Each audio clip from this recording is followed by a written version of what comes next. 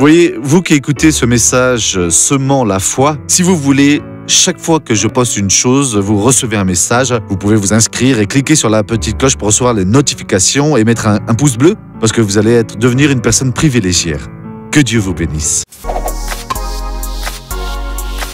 Mes chers amis, euh, une belle parole est écrite euh, ici dans la parole du Seigneur Dieu.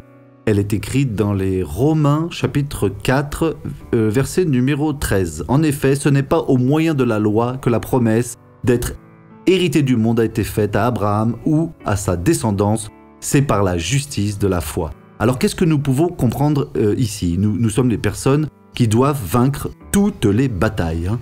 Nous ne pouvons pas nous courber comme ça face à l'ennemi et ni accepter alors aucun mensonge du diable. Au contraire, hein, nous devons toujours alors être dans la parole de Dieu. C'est par la justice de la foi. Ça n'avance à rien que vous, vouliez payer un prix terrible. Non, je vais accomplir alors toute la loi de Moïse. Les Juifs n'y sont pas arrivés. hein. Aucun d'eux n'a réussi à être parfait dans la loi. C'est impossible à l'homme, hein, cela. Euh, mais quand est venue alors la grâce, nous tous hein, avons été pardonnés et la grâce nous aide alors à faire euh, ce que la loi n'aidera jamais. Et donc cela est pour moi et pour vous.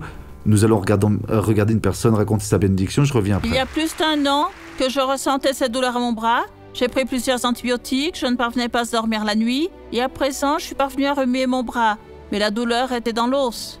Depuis Mhm. plus d'un an. Et maintenant Aujourd'hui, je le lève pour l'honneur et la gloire du Seigneur. Oh, gloire à Dieu. Je reviens pour unir ma foi avec la vôtre. Père, c'est au nom de Jésus que j'unis ma foi avec la foi de cette personne. Oui, je la bénis et je, je réprimande alors tout le mal et je dis qu'il sorte de là, qu'il s'en aille. Au nom de Jésus.